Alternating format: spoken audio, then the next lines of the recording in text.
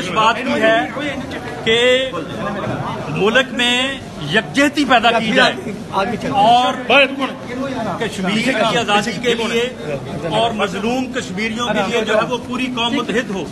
لیکن یہ حکومت جو ہے، یہ صرف اپوزیشن کے خلاف جو ہے وہ جو ہے وہ انتقامی کارروائیوں میں لگی ہوئی ہے۔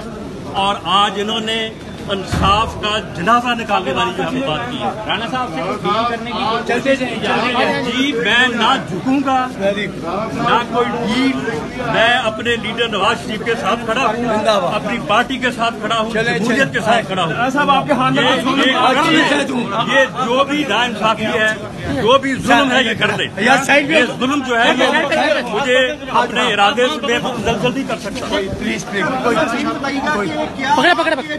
بٹ تبدیل کیا گیا ہے اس کے متعلق آپ کو کوئی بات تھی کہ جج کی تبدیلی ہو رہی ہے جج جو ہے وہ آرگومنٹ سن رہا تھا۔ آرگومنٹ سن رہا تھا اور اسے ایک گھنٹے کا ٹائم دیا گیا اور ایک گھنٹے میں جسٹس نے قانون نے جو ہے وہ ایک گھنٹے میں نوٹیفکیشن کیا کہ جی آپ جو ہے وہ کیس نہیں سن سکتے۔ اچھا اس کی وجہ یہ ان کے- جھوٹ کا ثبوت ہے۔ یہ ہے ان کا جھوٹ۔